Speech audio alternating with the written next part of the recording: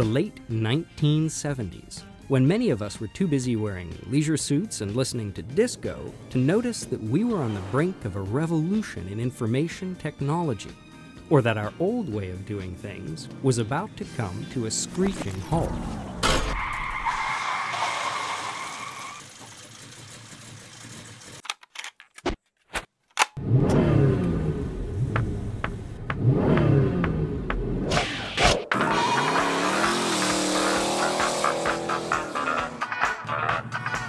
Presented with a better alternative, we did what we always do we ran with it. And in this case, the it was the way we listened to music. Recognize this? It's the original Sony Walkman introduced in 1979, the first mainstream personal music player. And on the eve of its release, the Japanese media were in solid agreement. They thought it would flop. Sony itself expected to sell only about 5,000 a month.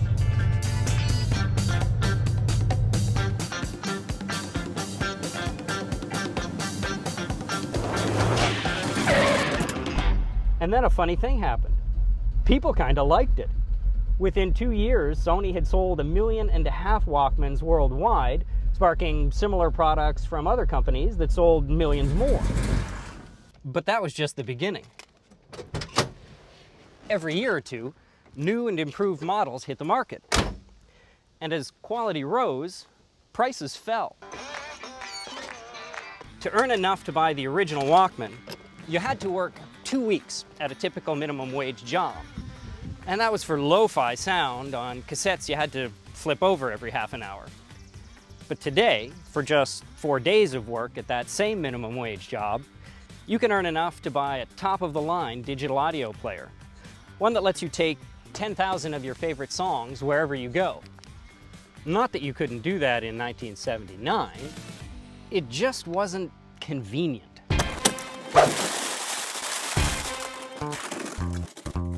What's really amazing about the rapid spread and improvement of personal audio players is that it isn't amazing at all. It's perfectly normal. Great new gadgets and services are appearing and going viral every day. A decade ago, no one had ever heard of Google. Now they do tens of thousands of internet searches per second. Facebook went from zero to half a billion members in just five years. And the same thing is true outside the high tech world in everything from organic grocery stores to disposable diapers. Basically, invent something good, and it gets big. And these days, it gets big fast. But of all the products we make and the services we provide, there's one that stands out as an exception to that overall pattern. There's one activity in which excellence doesn't spawn countless imitators or spread on a massive scale. And that exception is schooling. For generations, there hasn't been a single innovation in teaching that has transformed classrooms and improved student achievement worldwide. The closest thing to it can be found here, inside this 19th century schoolhouse. Let's have a look. And here it is, the blackboard. For the first 2,000 years of education history, it was hard for teachers to communicate complex visual information to groups of students.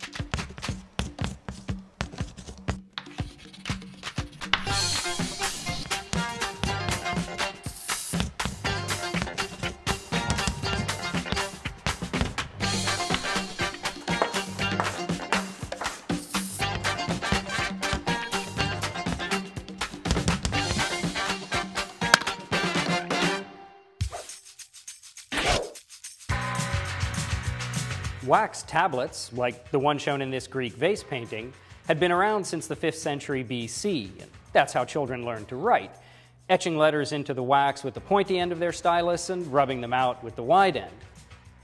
Useful as it was, it didn't allow teachers to reach the entire class all at once. 20 centuries later, we'd made the great leap forward to these slate tablets and chalk. Bit of an improvement, certainly they're easier to erase, but it wasn't until the late 1700s that a Scottish schoolmaster named James Pillans had a really clever idea. He took all of those tablets off of students' laps and he hung them together on the wall. Suddenly, every student could see exactly what Pillans was talking about at the same time. By 1801, the blackboard had already crossed the Atlantic West Point Military Academy, and within a few decades could be found in even the remotest rural schoolhouses in America, just like this one. So there's an example of a brilliant educational idea, simple and effective, that took the world by storm in barely a generation. We know it can happen. But that was 200 years ago, and nothing quite like it has happened since.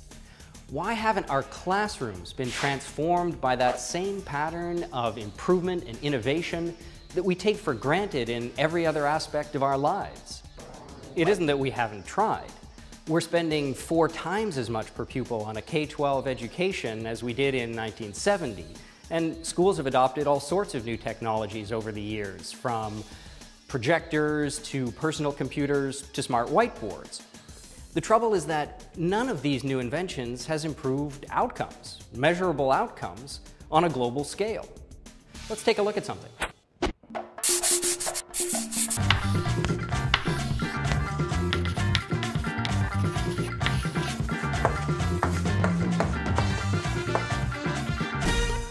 American test scores at the end of high school have been flat since we started keeping track of them all the way back in the early 1970s. And the same thing is true in most other countries as well. Basically, educational quality has been stuck in the era of disco and leisure suits for 40 years, while the rest of the world has passed it by.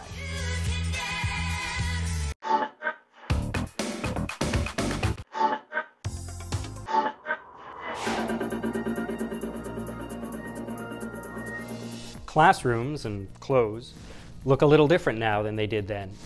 But we've changed the trappings of education without really improving the substance.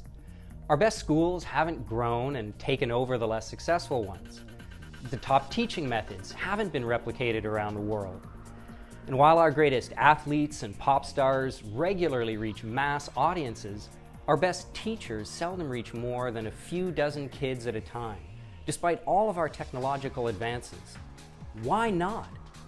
Why doesn't educational excellence routinely scale up, spawn imitators, the way it does in other fields? We'll travel to every corner of the globe in search of an answer to that question. And Our journey starts right now.